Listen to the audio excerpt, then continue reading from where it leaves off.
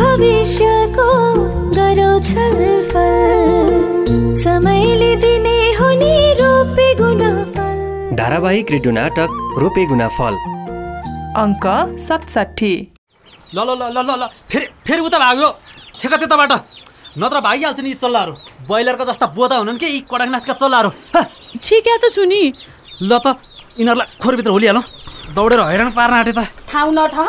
खै कसको रहर भने चाहिँ उसै त साँगुरो छ त्यसमाथि कुखुराको इलम। कुखुराको सुली गनायो भनेर कोही झगडा गर्न आयो भने चाहिँ मलाई नसुनाउनु यी।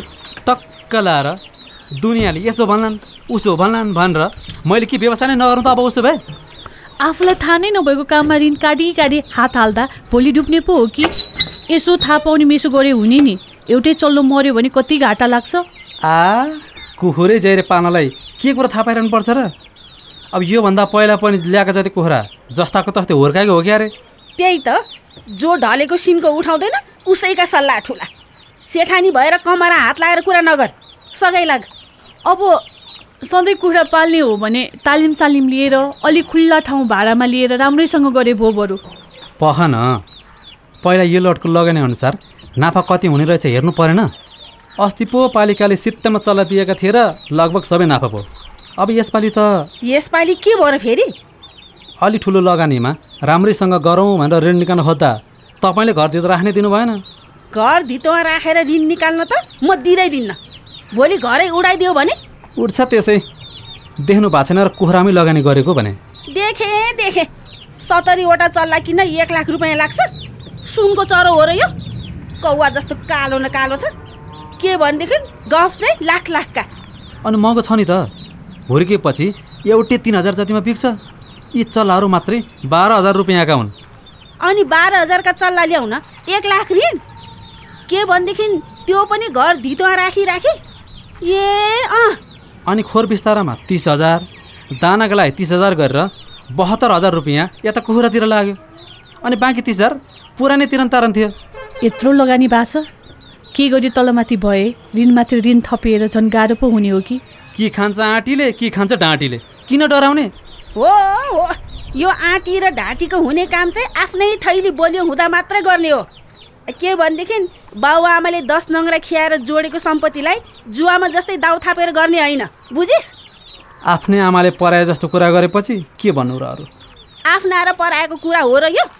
के भनेदेखि सधैँ अरूको भर परेर अरूका थाप्ला ऋण थपेर कहिले उँभो लागिन्छ? आफ्नो रहरको पेसा आफ्नै कमाइले गर्ने हो। आफै त गरेको छु नि। धन्न ढावा थियो र त्यही धितो राखेर पैसा निकालियो। तँलाई मैले कतिचोटि भनिसकेँ। यो घर तेरा बाउको एकमात्र चिनो हो भनेर। कम्तीमा म बाँचुन्जेल त मलाई यही घर शान्तिको सास फेर्न दे। म मरेपछि तैँले नै त हो नि खाने। उह उह उह। अब फेरि पितृको कुरा गरेर लाग्नुभयो। होइन सम्पत्ति भन्ने कुरा परेका बेला काम आएन भने के काम? मरेपछि खाने तैँले नै हो भनेर। के मैले तपाईँ नै मर्ने दिन कुरा बस्नु त अब? ठिक्क पाजी यो कुरो सुन्न अघि मलाई किन काल आएन होला? कान्छो छोरो भनेर अरू सबैलाई बिर्सेर तैसँग बसेको आज यही कुरा सुन्नलाई हो? ल हेर न फेरि न्यु खोजेर। अझ मैले न्यु खोजेको? अब हेर म मरेपछि पनि यो सम्पत्ति तैँले पाउँदैनस् बुझिस्? म नातिको नाउँमा गरिदिन्छु।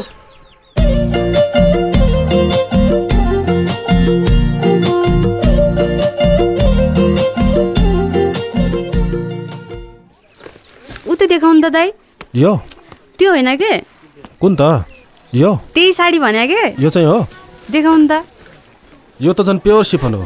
छाम्नु त कस्तो नरम छ? अँ नरम रहेछ। नरम त नरमै रहेछ तर खै? पट्या ठाउँमा त राम्रै थियो। खोलेसी त कस्तो फुस्रो देखे है। ए राम्रै छ त। मलाई त राम्रो लाग्यो।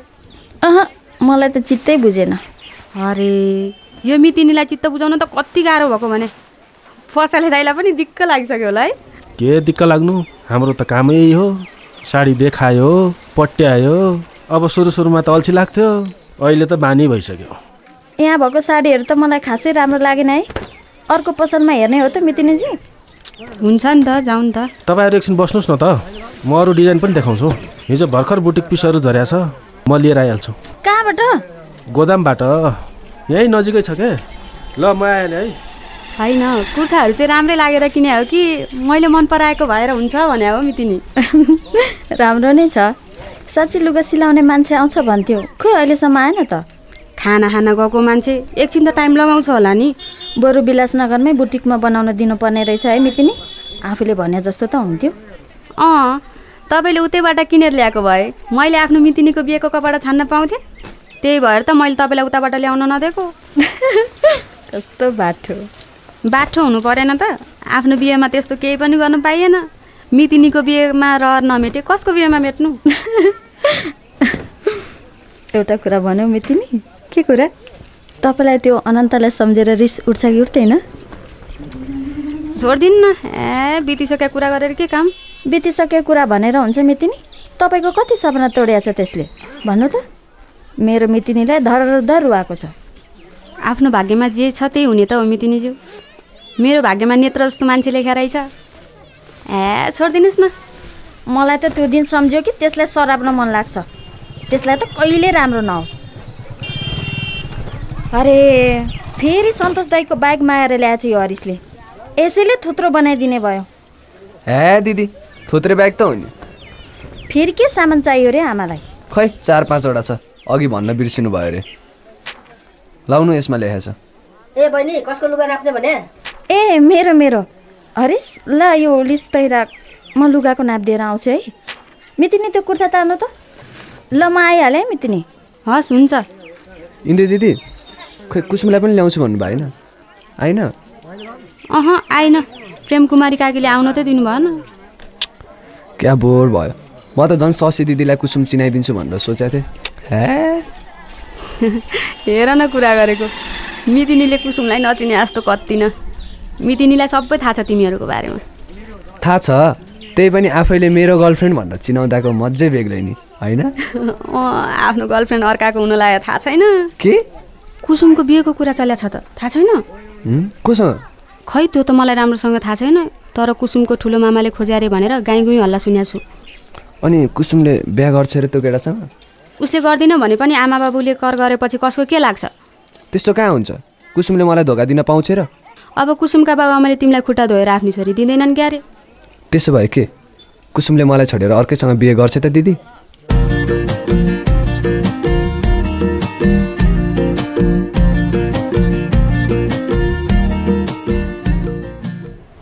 ओ किसन ऊ त्यो टेबलमा बसौँ है हामी। यहाँ त फ्यानै चलेन यार। लास्टै गऱ्यौँ भयो।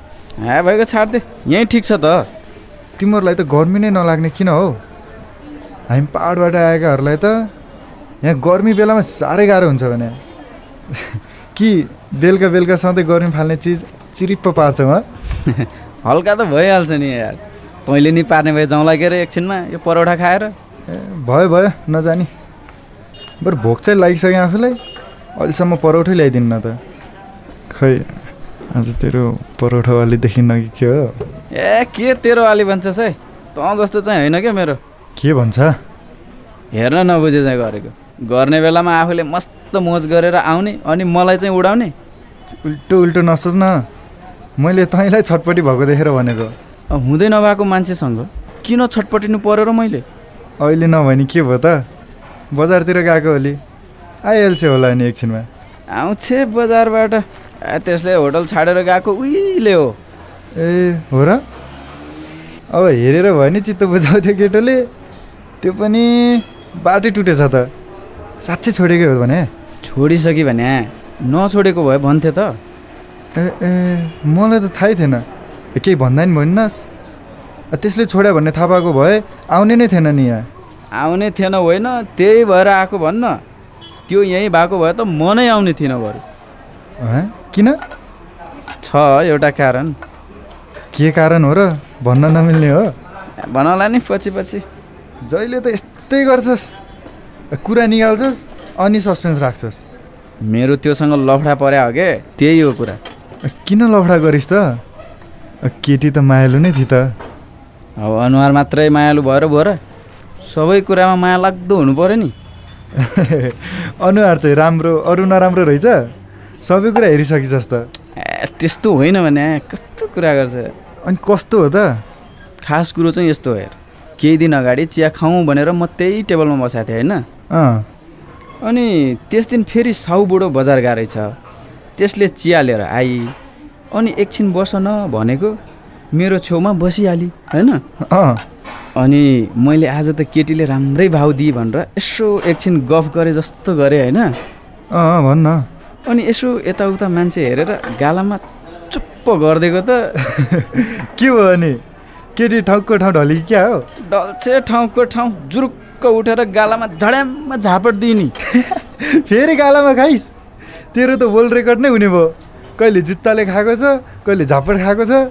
अझ तैँले चाहिँ त्यही टेबलमा गएर बस्नु भन्छस् यार। मलाई के थाहा त तेरो त्यो टेबलसँग यस्तो कनेक्सन होला भन्ने। ए आयुष। अँ भन्न भन्। बरु यसो तेरि त्यो डिम्पलसँग कुरा गरेर उसको कोही साथी छन् भने मलाई मिलाइदे भन्न। मिलाउँछे त्यसले। त्यो आफै त हावा टाइपकी छ?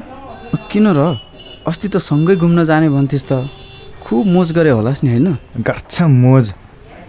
बिहानभरि बाटोमा कुराएर आउँदै आइनी त्यस्तासँग मोज हुन्छ? अब तँ बिहान सात बजे भने नौ बजे गएर कुरे होलास् त। समयमै गएको।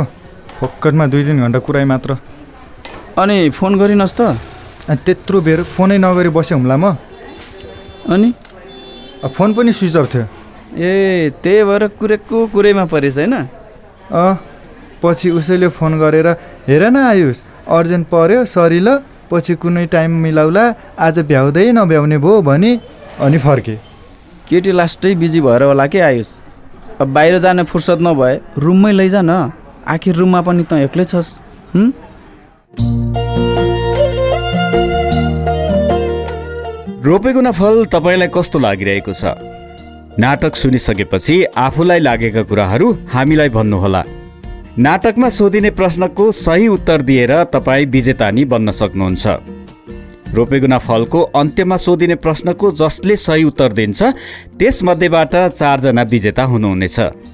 विजेताले तत्कालै दुई सय रुपियाँको रिचार्ज कार्ड पाउनुहुनेछ भने हरेक हप्ताका विजेता मध्येबाट प्रत्येक तिन महिनामा एकजना सुपर विजेता घोषणा गरिनेछ। सुपर विजेताले स्मार्टफोन जित्न सक्नुहुनेछ। हरेक हप्ताका विजेता मध्येबाट नाटकको यो सिजनको अन्तिम अङ्कमा महाविजेता घोषणा गरिनेछ। महाविजेतालाई आकर्षक बम्पर पुरस्कार दिइनेछ। गत हप्ता सोधेको प्रश्न थियो तपाईँ नाटकमा कुन पात्रको व्यवहार परिवर्तन होस् भन्ने चाहनुहुन्छ? यसमा तपाईँहरूले कुसुम आयुष निम्कली उत्सव हरिश सन्देश आदि नाम भनेर पठाउनु भएको छ।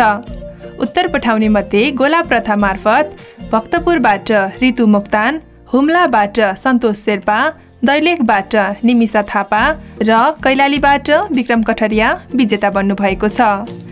प्रश्नको उत्तर दिने तपाईँहरू सबैजनालाई धन्यवाद र विजेता बन्नुहुने चारैजनालाई बधाई।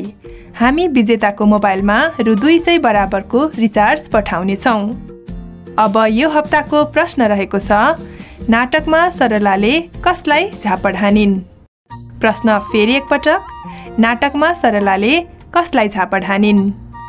नाटकको बारेमा आफूलाई भन्न मन लागेको कुरा तथा अघि सोधिएको प्रश्नको उत्तर दिनका लागि तपाईँ एनटिसी प्रयोग गर्नुहुन्छ भने सोह्र साठी शून्य एक तिन चार पाँच छ सातमा र एनसेल प्रयोग गर्नुहुन्छ भने अन्ठानब्बे शून्य पन्ध्र पचहत्तर शून्य शून्य आठमा फोन गरेर त्यहाँ प्राप्त निर्देशनअनुसार आफ्नै आवाजमा रेकर्ड गराउन सक्नुहुन्छ। त्यस्तै तपाईँ एसएमएस मार्फत उत्तर पठाउन चाहनुहुन्छ भने रोपेगुना फलको छोटो रूप आरओजिएफ टाइप गरी एक स्पेस दिएर आफ्नो उत्तर लेखी तिन साठी चालिसमा पठाउन सक्नुहुन्छ। साथै एन्टेना फाउन्डेसन नेपालको फेसबुक वा ट्विटर ठेगाना एन्टेना एफएनमा गएर पनि आफ्नो विचार राख्न वा उत्तर दिन सक्नुहुन्छ। रेडियो नाटक रोपेगुना फल नेपाल टेलिकमको मोबाइल प्रयोगकर्ताले निशुल्क नम्बर तिन दुई एक शून्य शून्यमा फोन गरी त्यहाँ प्राप्त निर्देशनअनुसार सुरुमा चार त्यसपछि दुई थिची आफ्नो अनुकूल समयमा पनि सुन्न सक्नुहुन्छ। हवस् त। रोपेगुना फलको अर्को अङ्कमा भेटौँला। नमस्कार। आजैदेखि भविष्यको गरौँ छलफल। समयले दिने हुने रोपेगुना